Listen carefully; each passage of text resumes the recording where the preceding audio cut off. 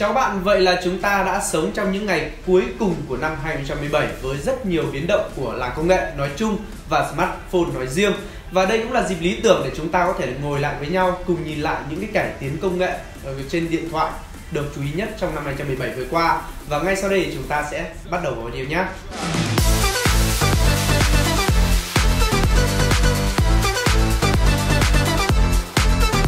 Đầu tiên và cũng là cải tiến đang được rất nhiều hãng sử dụng hiện tại và nó sẽ tiếp tục trở thành phong trào trong năm 2018 tới đây. Đó chính là tỷ lệ màn hình 18 9. Màn hình 18 9 không phải là mới, thậm chí thì Google đã hỗ trợ tỷ lệ này trong phần mã của Android nhưng ít được chú ý. Đầu năm nay thì LG đã mở màn với mẫu LG G6 với rất nhiều cải tiến như là chiều dài, màn hình đã gấp đôi chiều rộng, giúp tăng cường không gian hiển thị nhưng vẫn đảm bảo máy rất nhỏ gọn trong lòng bàn tay. Tiếp đó thì các hàng loạt những cái sản phẩm khác tương tự cũng ra đời.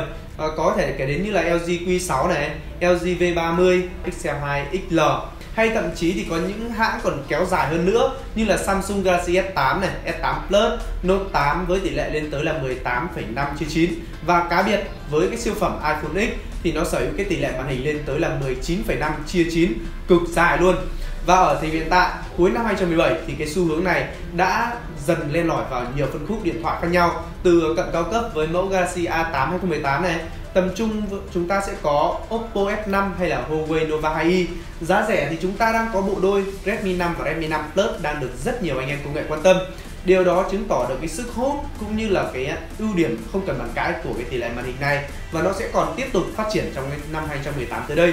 Và chúng ta sẽ hứa hẹn có thể sở hữu những chiếc à, điện thoại có tỷ lệ 18 9 còn giá rẻ hơn nữa. Và chúng ta cùng nhau đi đến với nhận diện khuôn mặt Face ID chiếc điện thoại là cả kho báu của một người dùng. Nơi chúng ta có thể lưu trữ đủ các dữ liệu như là ảnh này, video, tài liệu, tin nhắn, email rồi đến các địa chỉ liên lạc. Việc bảo mật thông tin cá nhân là rất quan trọng. Đến hiện tại thì mật khẩu và cảm biến nhận diện vân tay là giải pháp đã quá phổ biến trên smartphone.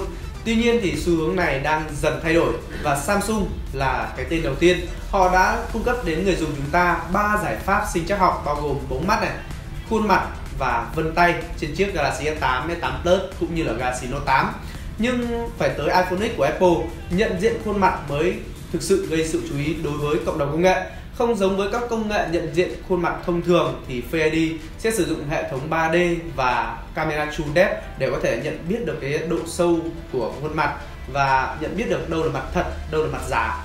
Và các bạn có thể thấy rằng sau khi Apple ra cái cảm biến khuôn mặt này thì một số sản phẩm mới ra gần đây cũng đã đầu tư hơn vào cái cảm biến ờ, khuôn mặt và ngay lập tức thì chúng ta đã có thể trải nghiệm những cái sản phẩm mà có ờ, cảm biến khuôn mặt ví dụ như là chiếc Oppo F5 hay là mấy sản phẩm đến từ Huawei? Và tiếp tục uh, trong năm tới đây thì uh, cảm biến khuôn mặt nó sẽ còn phát triển hơn nữa.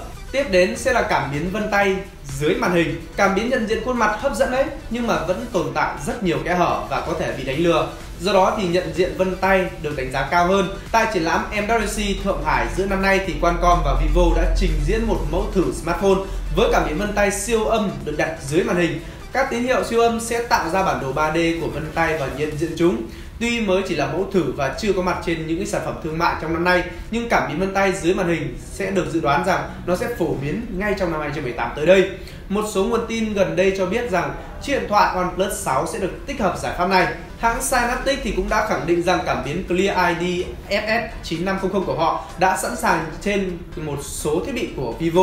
Samsung cũng được cho là sẽ sớm khắc phục được những cái vấn đề phát sinh để có thể uh, trình làm một mẫu Galaxy cao cấp có cái giải pháp mới này và chúng ta sẽ cùng nhau chờ đợi chiếc smartphone đầu tiên được trang bị cảm biến vân tay dưới màn hình này nhé. Và cuối cùng là một cải tiến và có lẽ rằng nó sẽ khó có thể áp dụng một cách rộng rãi đó chính là Light L16 camera di động với 16 cảm biến Giữa năm nay thì công ty Light đã thu hút được rất nhiều sự quan tâm của người dùng khi giới thiệu chiếc máy ảnh di động với 16 cảm biến uh, 13 megapixel module với cái 16 module riêng biệt này thì L16 có thể tạo ra bức ảnh lên tới là 51 megapixel thông thường và cao nhất là 81 megapixel.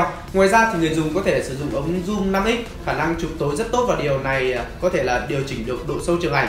Khi nghe về những cái thông số kỹ thuật trên thì nó đã siêu lòng rất nhiều anh em công nghệ, đặc biệt là những tín đồ chụp ảnh trên smartphone.